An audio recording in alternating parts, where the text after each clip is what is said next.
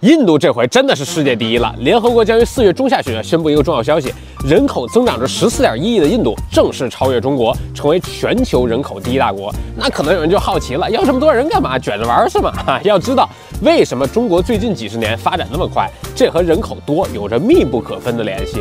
同理，印度也是一样。当一个经济体的工业化不够高手，人力资源就成了它发展最根本的驱动力。你们想，如果开一工厂啊，十个工人和一百工人创造的价值能一样吗？而且市场大、客户多嘛，还能吸引更多外资注入。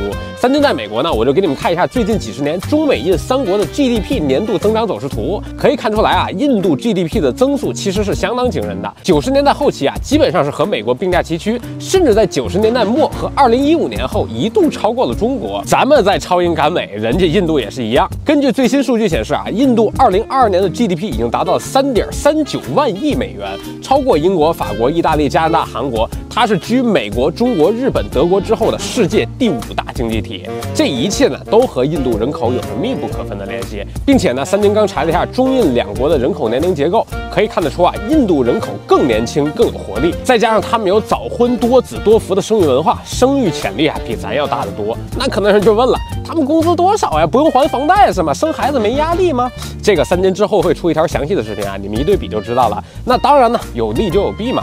未来印度本地资源会越来越紧张，就这么说吧哈，之后恒河水可能都不够喝了，再加上印度阶级分化严重，之后也一定会越来越卷。所以说，三金推测啊，未来像美国、加拿大这种移民国家，印度人会越来越多。你像现在英国首相啊，都已经是个印度裔了，未来三哥竞选我这边美国总统也不是不可能。